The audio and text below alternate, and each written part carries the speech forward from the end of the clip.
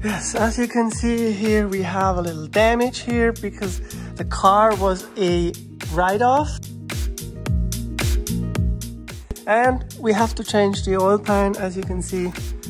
They fixed the oil pan here because of those damage here. I think he got hit by a rock or something. So, but today we're gonna change this sucker. Yep, and the subframe. Wish me luck.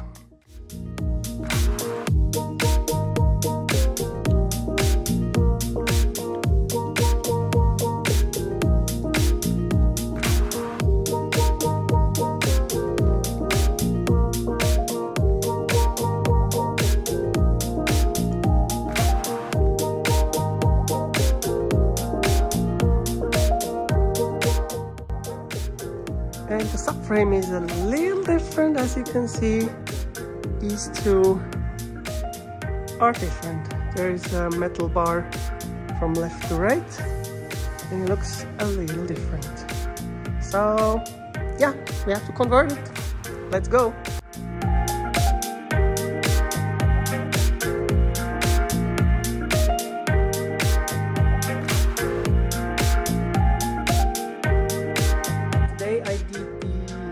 the rack and pinion, the wiring for the rack and pinion, uh, a new oil pan because the oil pan, the old one was damaged. So, you know, when the subframe comes down, it's easy access to the oil pan. So I did that also.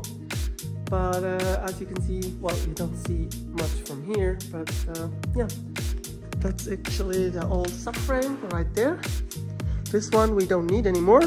It's the one for the right-hand drive cars right there. So I changed all this with the oil pan. The old one is over there. So this is the last step to do. And I'm working on it right now. It takes a little longer than I thought, but yeah, I'll get there one way or another.